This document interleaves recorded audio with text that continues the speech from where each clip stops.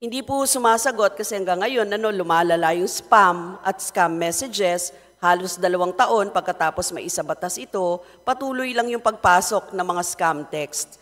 Hindi po ito nasolusyonan ng SIM card registration. So kung yung audit na sinasabi ninyo, guidelines sa pag-audit ng SIM card registration database, makakatulong ba to sa pag sawata ng mga spam at scam messages, Mr. Speaker? Ah, Madam Speaker, yung pong ah, nabanggit ng kagalang-galang ni si Arlene Brosas, ah, yung pong SIM card registration, meron naman po tayong concrete proof na nabawasan yung spam at saka mga scam ah, activities. I,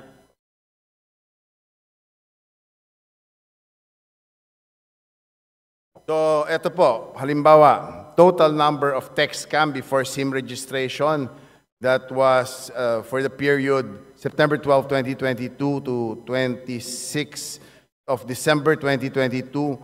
The figure was at 51,000, reported figures was at 51,874.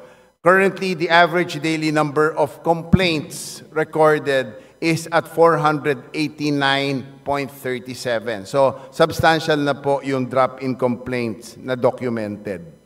Ah, Mr. Speaker, si- kung sinasabi niyong nabawasan, may mga delikado pong mga scam messages na pumapasok katulad ng, eto ah, ah, PH, Social Security System, your my SSS full employer contribution benefits have expired. Please check ssssph.lc to avoid termination of your membership. So, hindi mga official na mga website ng SSS at MMDA nag, nagme-message. MMDA, NCAP, you have unpaid traffic penalties. Please check your violation information through ssr.mx LTO and process it to avoid driving license revocation.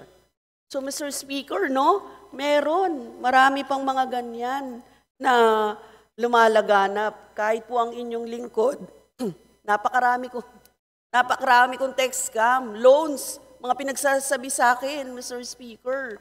So, ah, kung sinasabi nyo, nabawasan, may mga ganito na mga nangyayari pa rin, Mr. Speaker. So how can you prevent this?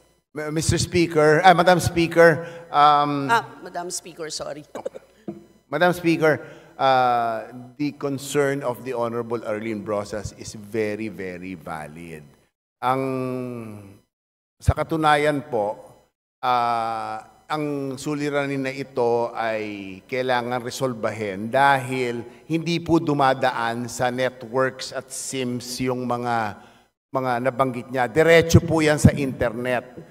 Kung po ng ating kagalang-galang na, na Congresswoman Arlene, nag-file po ang kinatawan na ito ng bill na maging basic service po ang internet, thereby making it fall under the purview of uh, NTC. Mare-regulate na po. Curr- Currently po, value-added service kasi siya, kaya hindi po siya pwedeng i-fully regulate ng NTC.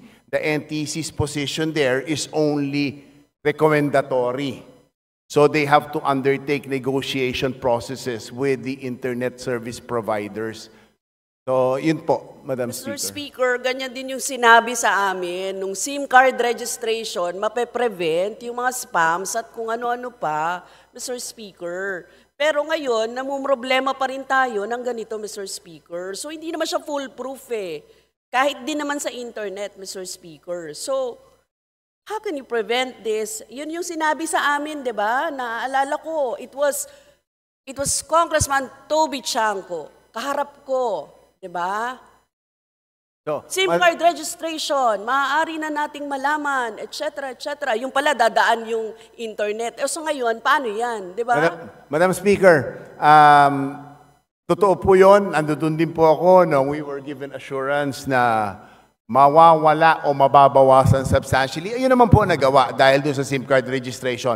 Pero ang sinasabi ko po, ang problema natin ngayon is how to regulate the internet. So, technology evolves. Yung po mga scammers natin, hindi po static yan. Fluid po ang technology.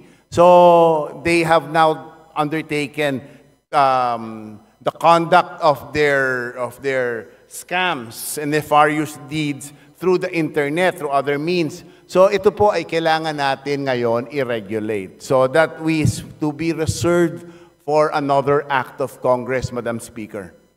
Thank you, Mr. Speaker. Um, importante pong ma-address talaga itong mga concerns na ito. No? Saka maging totoo po tayo sa ating mga ah, mamamayan kaugnay sa magiging epekto nito nang hindi rin nag impinge sa kanilang mga karapatan, Mr. Speaker. No?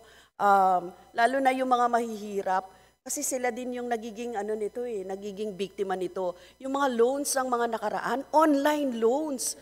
Halos magpakamatay yung mga tao because of the online loans. Nag-aano sila dyan, umuutang sila dyan, tapos grabe yung mga ah, social cost nito sa kanila, naapektuhan yung kanilang mga ah, mga pamilya dahil yung pala, scam pala yung mga loans na yon. So Mr. Speaker, kailangan i-address ito. Ah, totoo, Ah, Madam Speaker, kailangan ma-address natin ito. Madam Speaker, I totally agree.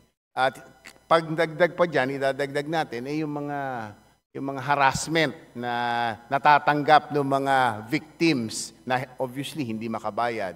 So, it- oh, yung cyberbullying po. Kaya naman po ang ah, kaya ang CICC is uh, uh, on its toes currently because we really want to eliminate this because this is a, this is a blight on a, uh, this is a scourge to society, Madam Speaker.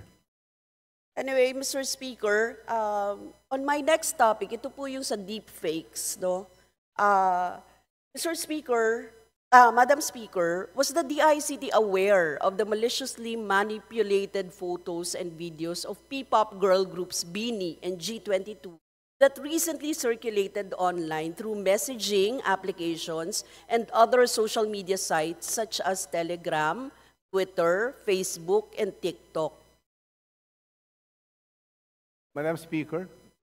Yung P-pop girl po, Dini, tsaka G22, mga ano to, Mr. Speaker.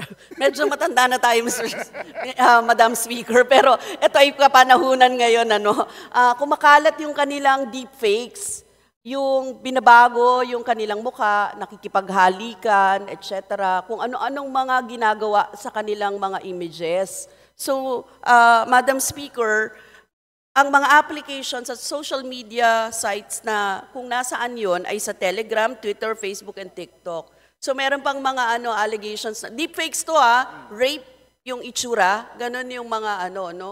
Uh, are there any measures that the ICT does, does to intervene in such issues and what are these measures? Ah, ang ah, ang CICC po na ah, sub-agency ng na attached agency ng DICT ang nangangalaga diyan and we are assured of their action on the matter.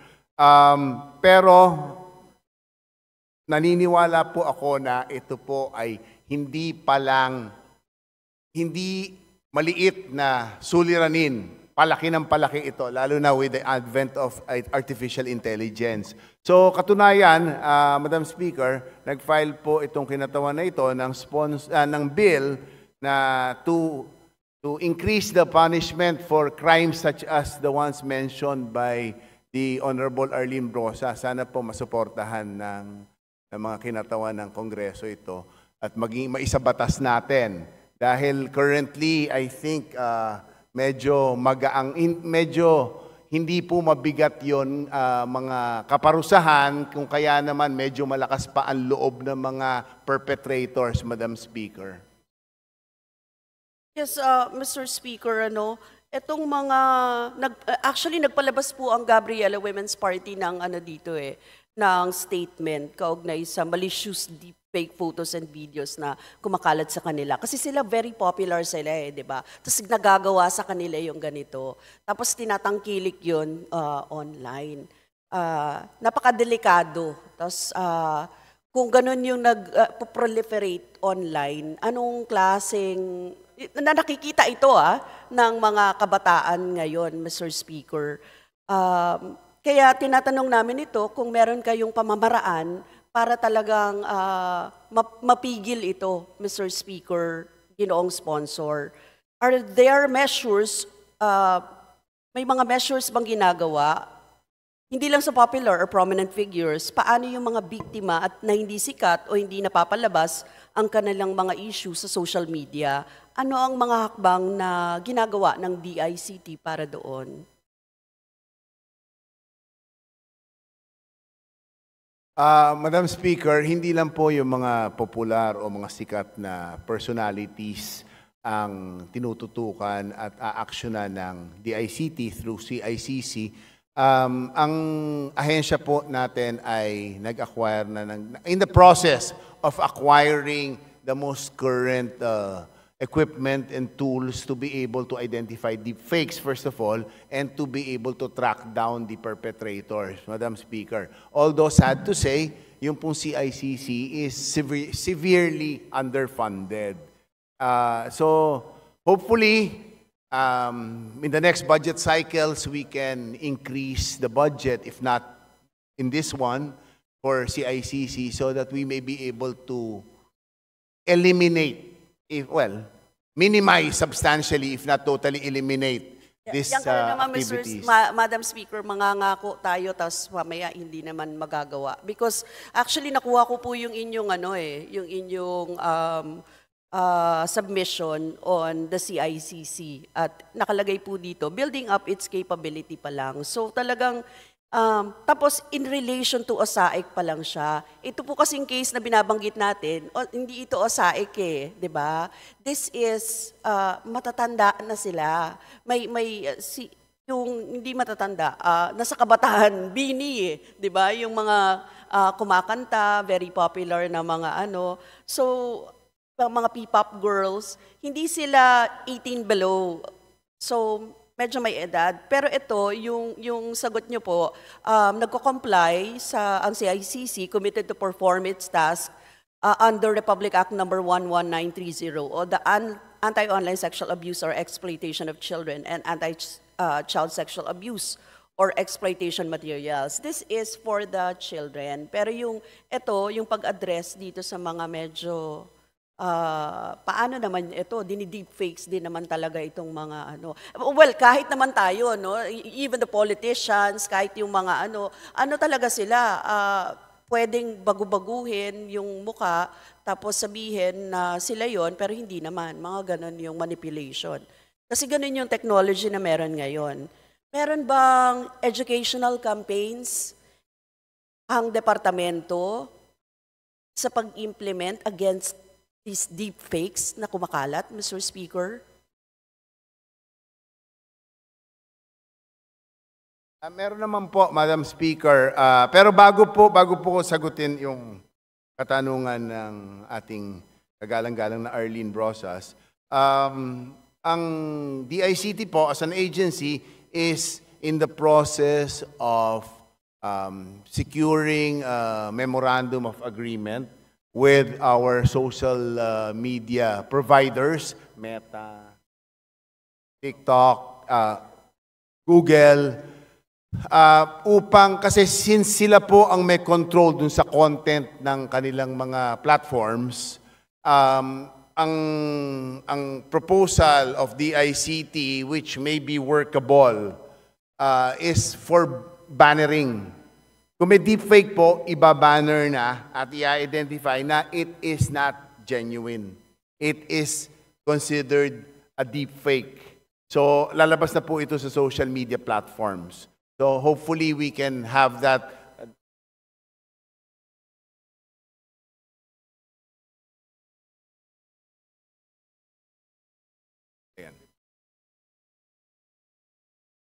So, yun po, importante din po yung blocking mechanism, yung reporting mechanism ng, ng nasabing mga social uh, media platforms ay nandito na po sa DICT. So, within the day, it can- be blocked. But then again, the damage would have been done. So, I think the move to have those deepfakes bannered once they are identified to be as such is very, very, is a very significant step forward.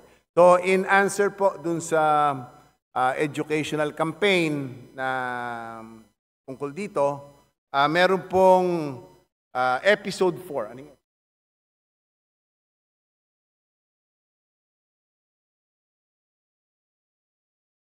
Meron pong uh, podcast ng may podcast po, episode 4 na sponsored po ng DICT. Ang title po nito ay Privacy in the Spotlight. Uh, April Fool's Deepfakes and Privacy. Ito po ay parte ng information campaign ng National Privacy Commission, uh, Madam Speaker. Thank you, Mr. Speaker. Pero um, hindi rin sasapat yan, ano, Mr. Speaker. Yung rise of deepfake technology poses a significant threat not just to these P-pop girl groups or celebrities, but to our society as a whole. The government should take proactive measures to address this emerging and alarming challenge, Mr. Speaker.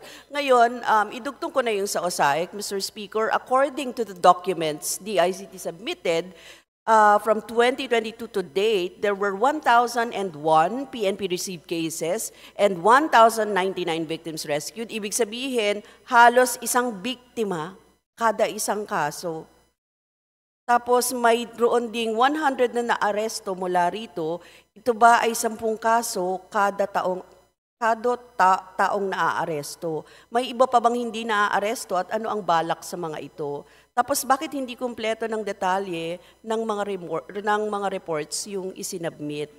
Tapos gayon din, sa datos mula 2023 hanggang sa kasalukuyan na sa NBI-initiated operations na 26, siyam na biktima lang ang na-rescue at isa ang naaresto. Wala bang mga biktimang na-rescue mula sa ibang mga operations?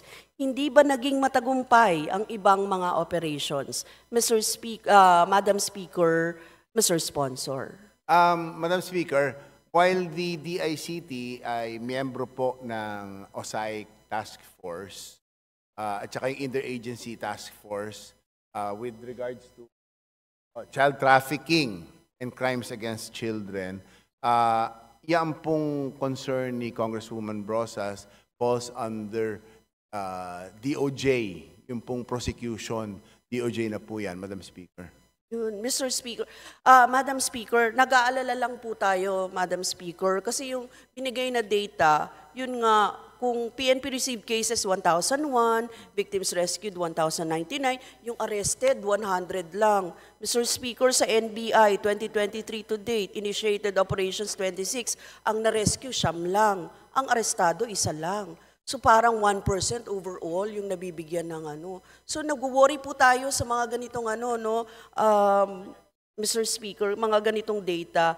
Alam naman po ng kinatawan na ito na uh, nung naipasa yung OSAE kasi actually isa po kami sa mga nag nag ano eh nag um, nag-push talaga na maipa, maipa, maipasa ito.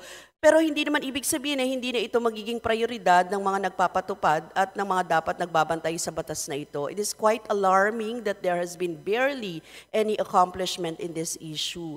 The data from 2022 were as high as 2 million internet-using Filipino children have fallen victim to OSAIC will not just abruptly go down in the span of two years, and most importantly, without anyone being accountable.